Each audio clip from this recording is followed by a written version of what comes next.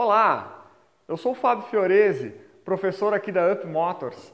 Estou aqui montando a bancada de injeção eletrônica para a turma nova que vai iniciar em Caxias agora em fevereiro. Estava olhando tudo aqui e pensando que coisa fantástica que é a central de injeção eletrônica. Como é que ela consegue fazer controles tão precisos no motor do carro, né? Estava olhando aqui esse sensor de temperatura, tão pequeno e tão inofensivo. Porém, ele tem uma função muito importante.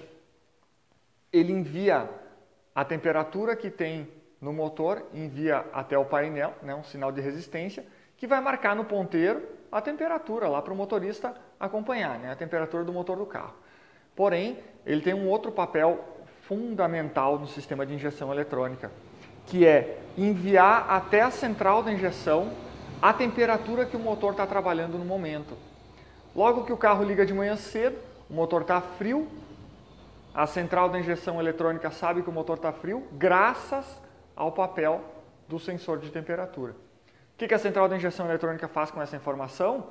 Envia mais combustível aqui para os bicos injetores, para que o motor tenha o rendimento aí frio igual ao rendimento do motor quente.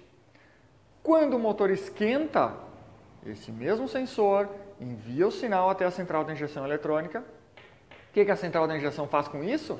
Começa a enviar menos combustível para os sensores, podendo obter assim a mesma performance. O que, que reflete isso? Reflete na economia de combustível do carro. Então, quer dizer, se o carro está gastão, está com excesso de combustível quando está quente, entre outros sintomas aí variados, pode ser simplesmente um defeito aqui no sensor de temperatura. Tá? Bom, aqui no nosso curso de injeção eletrônica da Up Motors, os professores são é, acostumados a lidar com esse tipo de defeito todos os dias. E eles estão preparados e prontos para passar para ti essa informação, entre muitas outras, né? De muitos outros sensores e atuadores aqui do sistema de injeção.